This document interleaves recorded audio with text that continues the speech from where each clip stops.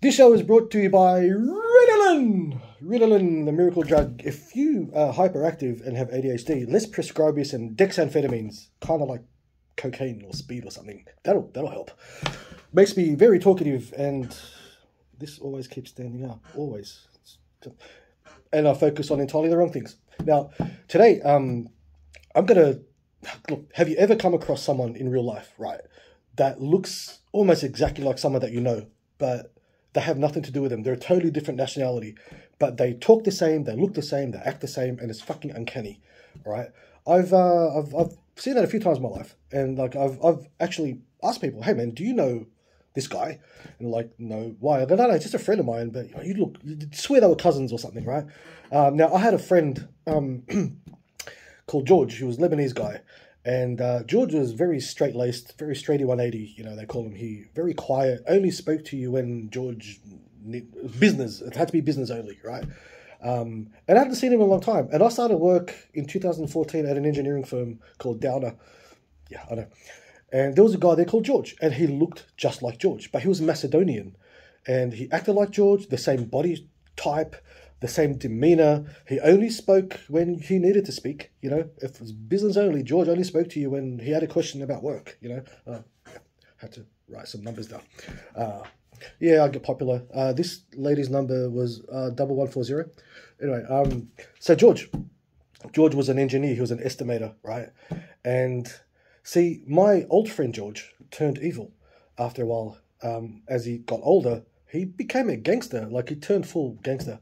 So I sensed an evil in George at, at my job because, you know, he looks like George, he acts like George, he must be as evil as George. I, I need to know. Like, you don't understand. I, I need to know. And I love drawing evil in people, not in an exorcist way, but in a my own amusement sort of way. I like um I, I like I like making people who don't swear swear. Just wind them up so much and then say, I knew it, you're fucking human. There you go, right? So George was very, very, very straight. Now, see, I used to play D and D, and uh, I stopped because I don't have anyone to play with anymore. But um, I always chose chaotic good because I consider myself chaotic good. I'm good for my own amusement, not so much for the other person's benefit. Like there's been a number of times when I've been at the gas station and I paid for the guy behind me, and uh, only because I enjoy the confusion on their face. Because see, I'd, I'd go back out to my car and sit there and watch through the window the confusion and the chaos that takes place when this guy has no idea why some dude just paid for his fuel. And most of the time I'll take off because that's it.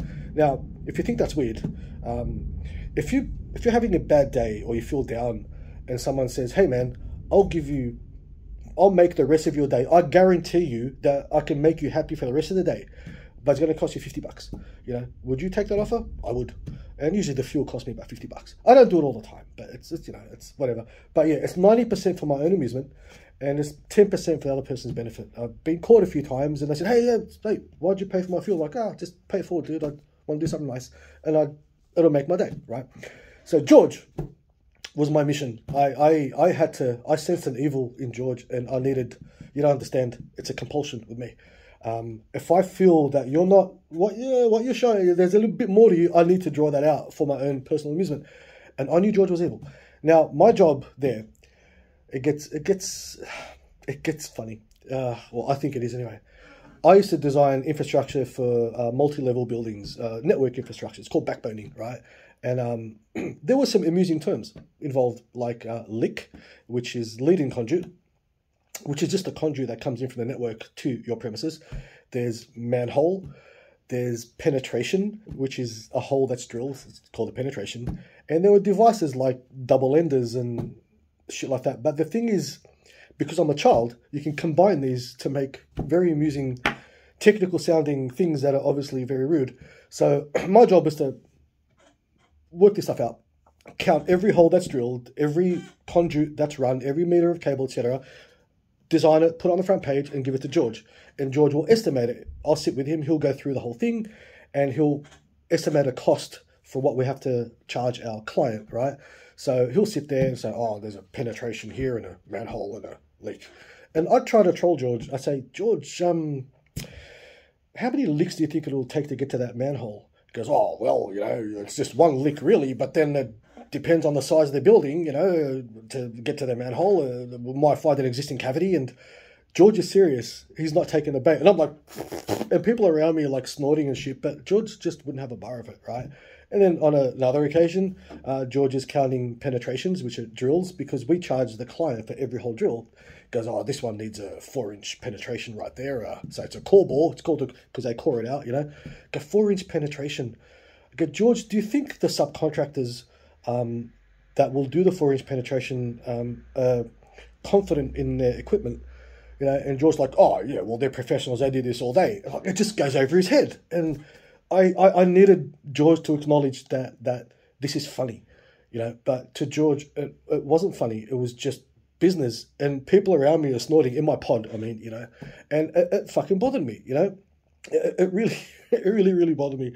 And uh, one day I asked George, I go, George, um, what's a what's an average lick to get to a manhole? Like, is it a short lick or a long lick? What do you reckon? And he goes, oh, again, it depends on the size of the building. You know, uh, could be 10 meters, could be 15, and the frontage. And I'm like, fuck, I, I gave up. I gave up. You know, I, I was defeated because I, I, couldn't draw it out of George, and it bothered me. And uh, and it's I've I've never not broken a person, and George just wouldn't break. But then I found out through the the through the um, I was going to say vinyl but through the grapevine in the office that George mentioned that he, you know, really enjoyed working with me, you know, and he thought of me very highly. So I thought maybe some cracks are showing, but no, no, it didn't happen. And then they hired some new people, and there were two people out of this lot for the design team. This is network design. Uh, they were Persian women, beautiful women, Sarah and Sodi, right? And we talked a lot, you know, every day. Hey, hey, going good, good, good. But I forgot Sodi's name you know, and it was well beyond that point where you can just ask someone what their name was again because now it's been a couple of weeks and it's kind of rude. So I went to George and I sat next and I go, hey, hey, George, um, the new girl, not Sarah, the other one, um, what's her name? I need to, because I'm just saying, hey man, hey you, hey dude, you know, goes, oh, uh, Sodi, Sodi. I'm like, oh, that's right, yeah, Sodi. He goes, do you know what they call her Sodi? I'm like, no. He goes, because she likes to be sodomized. he crossed the line, you know, and I like the guys around us, they were like they fell apart. They were buckling. People couldn't breathe. I mean, this is just within our little pod. No one can hear us, right? And George is like, you know, he's come out of his shell, and I'm like, bro, you crossed the line. That's totally inappropriate, man. Like, this is a line you do not cross, man. You know. And then he said, like, I just wanted to be acknowledged. I, I, I wanted the silliness of, of licks and manholes and penetrations to be acknowledged, and George never gave that to me, and that bothered me, right? But then George said, I just want to be funny like you guys. You're always licks and manholes and penetrations. I'm like, ah, you are, you're fucking human. Thank you. That, that, that's all I needed. That's all I needed, right? But then George was a bottle. See, I, I, I awoke the Balrog, man, because George was a bottle with a cap on it, and now the cap's off. And man, he's one dirty motherfucker. Because the thing is, like, he just took a little bit of persuasion to come out. He'd come up to me and show me his phone, goes, hey man, check this out. I'm like, uh, it looks like two naked midgets about to do something. He goes, yeah, yeah, press play. I'm like, no, nah, I'm not pressing play on that, man. He goes, no, no, just do it, just do it. I'm like, I, I, don't want to look at midget porn, George. George is into midget porn. And uh, so by association, I was into midget porn. You know, and then he'd do other shit like he'd come to me and say, "Hey man, uh, oh, all hours of the day he'd send me WhatsApp messages with just dirty fucking deranged shit." Like, dude, wow, like what the fuck? this guy's just fucked up. And then one day he asked me, he goes, hey, what, what sort of porn are you into? This guy was a porno fiend, man. You know, the most just straight engineer, like fucking full on Christian guy.